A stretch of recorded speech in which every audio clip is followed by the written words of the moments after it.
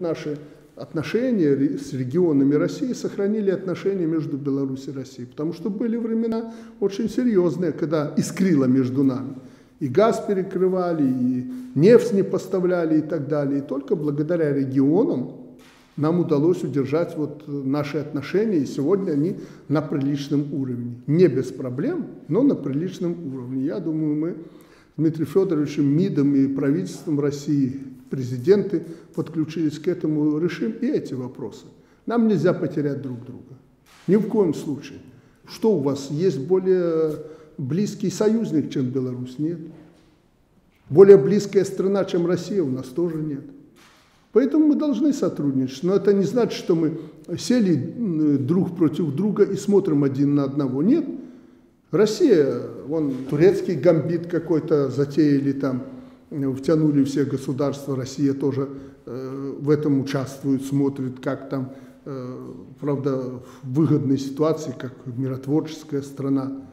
Нам тоже в регионе надо э, видеть наших соседей, ту же Украину. Не надо на нас смотреть как на врагов, которые отвернулись спиной к России.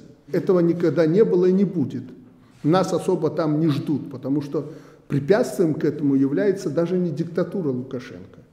Препятствием к этому является экономика, потому что там производят машиностроение не хуже, чем у нас. Все, кроме Белазов. Все остальное производит, и молоко, и мясо, и прочее. И на рынок нас туда никто не пускал и не пустит. Я все время их за это критикую. Хоть у нас продукция, они признают, гораздо лучше, по многим параметрам, чем их. Но на рынок не пускают. Так а какая основа сотрудничества тогда с Европейским Союзом? Правда, наметились проблемы у нас и с Россией в этом плане. Но я еще раз говорю, мы решим эти вопросы. Мы, по крайней мере, на одном э, языке э, разговариваем. Но знаете, что вы нам люди не чужие, особенно новгородцы. Тут уже разговора быть не может. Хотя у нас нет плохих отношений ни с Чечней, ни с Татарстаном, ни с Башкортостаном, ни с мусульманами, ни с католиками, ни иудеями и тем более православными в России. Вы для нас люди наши, родные, и приходит новое поколение к власти, вы тоже из нового поколения. Ну, благо, что вы еще помните больше, чем нынешняя молодежь, 30-летняя, что мы жили в одном государстве, что такое славянское единство. А ведь, вы знаете, приходит молодежь, которая это не пощупало. И редко где-нибудь читали в книжках.